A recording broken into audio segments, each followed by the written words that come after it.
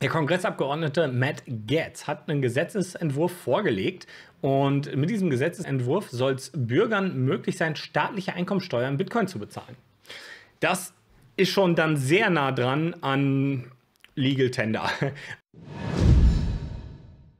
Also das ist ja eine der Hauptargumentationen, vor allem von den Mainstream-Ökonomen. Bitcoin ist kein Geld, weil du kannst deine Steuern damit nicht zahlen. Ja? Also als wenn Geld immer nur dann zu Geld wird, wenn du auch Steuern damit bezahlen kannst. Ja? In einem zwangsmonopolisierten Staatsapparat. Das ist natürlich Quatsch. Im Laufe der Menschheitsgeschichte wurden Gelder vor allem die guten Gelder immer freiwillig gefunden, weil es Akzeptanz in der Gesellschaft gab. So, nur weil wir heute staatliche Konstrukte haben, die die Akzeptanz der Gesellschaft erzwingen, heißt es aber nicht, dass es nur über diesen Mechanismus ein Geld zu Geld machen kann. Aber ja, ne, wir nehmen mal die Argumentation, in unserer heutigen Gesellschaftsform wäre etwas erst dann ein Geld, wenn der Staat sagt, ja, du darfst deine Steuern damit bezahlen. Aber da sieht man, mit so einem Gesetz hier geht das schon in so eine Richtung. Das ist natürlich hochspannend. Ja, und ähm, er möchte, dass äh, im Endeffekt damit die technische, aber auch monetäre Entwicklung in den USA vorangeht, dass man offen ist, den Menschen die Steuern im Bitcoin entrichten zu lassen. Und klar, ne, wer würde das machen? Keiner würde seine Bitcoin abgeben, um seine Steuer dafür zu bezahlen, wenn er Bitcoin verstanden hat. Dann würde er Bitcoin sparen, lieber seinen Dollar abgeben. Ist ja logisch. Äh, darum geht es am Ende auch gar nicht, sondern eher um eine Art psychologischen Schritt und das Bewusstsein, ähm, dass man in so eine Richtung gehen könnte. Und seien wir mal ehrlich, wenn der Staat an Bitcoin kommen will und die nicht unbedingt an Börsen kaufen möchte, zum Beispiel, weil er eine Bitcoin-Strategie äh, umsetzt, so wie Donald Trump das vielleicht möglicherweise macht, dann wäre das ja ein Prozess, wo man vielleicht von dem einen oder anderen wirklich dann auch ein paar Bitcoin in die Staatskasse bekäme.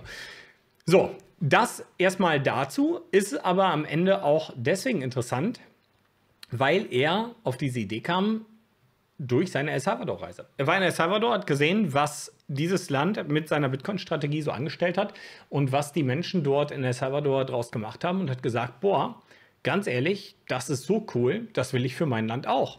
So, er hat diesen Gesetzesentwurf eingereicht, das Ganze ist jetzt auf dem Weg und wir müssen aber trotzdem davon ausgehen, dass es nicht kommt. ich denke, jedem sollte klar sein, er muss vor allem in der aktuellen Situation viele Demokraten im Repräsentantenhaus überzeugen, er muss sehr viele Politiker überzeugen und bei weitem ist nicht jeder so offen Bitcoin gegenüber, wie es vielleicht gerade eine Handvoll Politiker sind oder auch Donald Trump ist. Und selbst wenn Donald Trump gewählt wird und dieser Gesetzesentwurf nochmal vorgelegt wird, ist es selbst dann nicht sicher, dass das durchgeht. Es ist aber trotzdem gut, weil es auf einer Ebene diskutiert wird, dieses Thema, die eben sehr hoch ist, eine politische Ebene, wie sie höher gar nicht werden könnte, weltweit nicht höher werden könnte. Also Bitcoin ist ganz oben angekommen. Und darum geht es am Ende, dieses Bewusstsein. Das ist das gleiche wie wenn Donald Trump jetzt sein Versprechen, was er alles mit Bitcoin umsetzen möchte, nicht hält. Am Ende ist das, was diskutiert wird innerhalb politischer Debatten, innerhalb der Medien oder auch bei den Politikern, dass das am Ende gut ist für Bitcoin. Dass die Menschen das sehen, dass das Bewusstsein steigt, wir brauchen Bitcoin und das wird auch zukünftigen Präsidenten und Präsidentschaftsanwärtern immer schwerer, das Thema zu ignorieren, wenn sie Präsidenten werden wollen. Von daher, Bitcoin macht das, was wir seit Jahren vermuten, was Bitcoiner seit Jahren sagen. Und jeder, der Bitcoin einmal versteht, ist am Ende für Bitcoin. Ja, und die, die Bitcoin kritisch gegenüberstehen und sagen, nee, ist Teufelszeug, haben es in der Regel nicht verstanden. Und das klingt jetzt total hart, aber es ist leider so. Und ich habe mich selber mit unzähligen Menschen über dieses Thema gestritten oder unterhalten und habe festgestellt, dass gerade die Leute, die denken, sie seien Bitcoin-Kritiker, eigentlich keine guten Kritiker sind, weil sie gar keine validen Punkte haben und sich einfach mit der Materie nicht befasst haben. Und sobald sie das tun, sogar meist selber zu Bitcoinern werden. Und dann ist es auch an uns zu sagen, okay, es hat zwar ein bisschen gedauert, aber du hast deine Sichtweise geändert. Dann reiche ich dir die Hand. Bitte komm dazu. Wir werden uns jetzt gemeinsam diesem Thema widmen, ja, weil Bitcoin gut ist, weil Bitcoin ein Geld, möglicherweise auch erstmal nur ein Sparobjekt ist, was dir sehr viel Kaufkraft bringt und was am Ende dazu führt, dass du mit deiner Kaufkraft nicht nur deinen Lebensumstand verbessern kannst, sondern möglicherweise auch den deiner Umgebung, der Gesellschaft, weil du Unternehmen vielleicht bauen kannst, weil du Ideen umsetzen kannst, Leidenschaft leben kannst, wie du es eben in einem Fiat-System nicht könntest, weil alles abhängig ist vom ausgehenden zentralen Geld, von dieser zentralen Geldschöpfung und das am Ende genau das ist, was uns an diesen desolaten Zustand der Gesellschaft geführt hat, wo wir heute sind, global. Ja? Alle Länder spielen gerade das Fiat-Game. Und ja, es wird auch niemals funktionieren, wenn nur ein einziges Land der Welt Bitcoin bekommen würde. Ne? Das, die Stärke von Bitcoin ist deswegen da, weil es Netzwerkeffekt hat, weil es jedes Land, jeden Menschen, jeden Politiker, jeden Banker am Ende auf seine Seite zieht. Und mit jeder weiteren Person, die dazukommt, wird Bitcoin besser und der Nutzen für alle steigt. Die ganze Zeit. Das heißt, jeder, der dazukommt, ist gut. Jeder, der sich gegen Bitcoin entscheidet, entscheidet sich am Ende gegen eigene Kaufkraft und wäre auch schlecht. Aber unterm Strich heißt es, was gut für dich ist, ist gut für alle. Und was gut für alle ist, ist gut für dich. Im Fiat-System ist es genau umgekehrt. Du nimmst den Baukredit, das ist gut für dich, aber eigentlich machst du die Kaufkraft aller anderen damit schlechter. Das Fiat-System spielt die Regel, was gut für dich ist, ist schlecht für alle anderen. Und was gut für alle anderen ist, ist schlecht für dich. Das ist das Problem des Fiat-Systems. Bitcoin verändert dieses gesellschaftliche Zusammenspiel fundamental und sorgt dafür, dass jeder profitiert. Das hat es in der Form, in dieser Vehemenz, in dieser Klarheit einfach so noch nie gegeben. Und das sind die Chancen, die wir hier ergreifen können, die mittlerweile ganz oben bei Präsidenten angekommen ist. Darum geht's. Und das erkennt sogar Bolivien. Die Bol bolivianische Zentralbank hebt ein Bitcoin- und Kryptoverbot wieder auf, was sie damals auf den Weg gebracht haben äh, in 2020. Das ist jetzt sowas passiert häufiger. Ne? Also nichts hält so schlecht wie ein Bitcoin-Verbot, ein Krypto-Bitcoin-Verbot. Wir haben das auch in Nigeria gesehen, immer mal wieder auch in China gesehen, Verbote gesehen, die auch immer wieder aufgeweicht werden. Und es ist einfach so, wenn du dich gegen Bitcoin entscheidest, ist es am Ende schlecht für dein Land. Es ist schlecht für deine Gesellschaft, es ist schlecht für deine Wirtschaft und dann auch schlecht für deine Politik.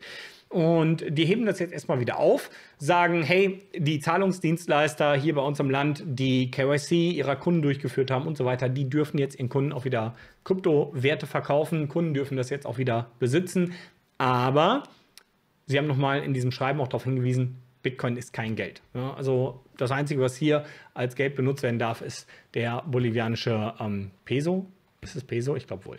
Und von daher möchte man hier nochmal darauf hinweisen, dass auf gar keinen Fall Bitcoin und Co. als Geld benutzt wird. Aber man sieht auch, dass gerade Südamerika, Mittelamerika, dass hier die Offenheit für das Thema immer größer wird. Und das ist auch logisch, weil die auch teilweise unter der Geldpolitik der Amerikaner leiden und so wie eigentlich alle Länder das unterm Strich eigentlich tun und eigentlich immer nur hoffen müssen, dass sie in der Gunst der Amerikaner stehen. Das tut man aber in der Regel auch nur, wenn man nach der Pfeife der Amerikaner tanzt. Und das ist eben das, was auch viele Länder nicht unbedingt wollen.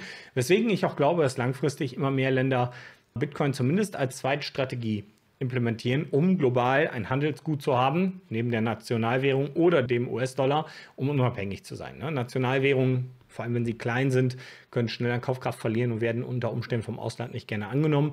Den US-Dollar zu benutzen, birgt das Risiko, dass die Amerikaner irgendwelche Sanktionen gegen dich erheben. Und Bitcoin wäre ein Gut, das immer funktioniert, das du global transferieren kannst, ohne Vertrauensparteien dazwischen und was am Ende auch keinem zentralen Risiko unterliegt. Übrigens, was ihr nicht vergessen dürft, hier in Deutschland müsst ihr eure Kryptobewegungen versteuern, gerade wenn sie in unter einem Jahr dieser Spekulationsfrist durchgeführt werden. Und das heißt natürlich Bitcoin-Käufe und Verkäufe, aber auch der Tausch in andere Kryptowährungen. Und wenn ihr sowas mal gemacht habt in der Vergangenheit oder auch jetzt aktuell macht, dann solltet ihr das unbedingt erfassen und dabei hilft euch ein super gutes Tool, das ist Cointracking. Wir arbeiten seit vielen Jahren mit dem Team von Cointracking zusammen und haben sehr viel positives Feedback aus der Community bekommen. Einfach einfach wegen diesem sehr umfangreichen Funktionsumfang, aber auch, weil man das Tool bis 200 Trades kostenlos testen kann. 1,7 Millionen Nutzer nutzen dieses Tool weltweit und Cointracking ist eben dadurch auch in allen möglichen Steuerbereichen perfekt aufgestellt und weiß genau, wie was versteuert werden muss. Außerdem könnt ihr damit auch feststellen, ab wann eure Coins steuerfrei sind oder wie lange diese noch liegen bleiben müssen.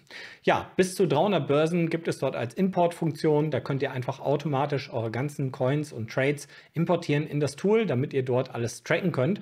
Und sollte der ganze Prozess für euch dann doch ein bisschen zu viel sein und ihr wisst nicht, wie das Ganze weiterläuft und funktioniert, bietet Cointracking sogar einen Full-Service an. Da arbeiten sie zusammen mit Steuerberatern, die sich dann um eure ganzen Importe kümmern, auch als zusätzliches Paket buchbar.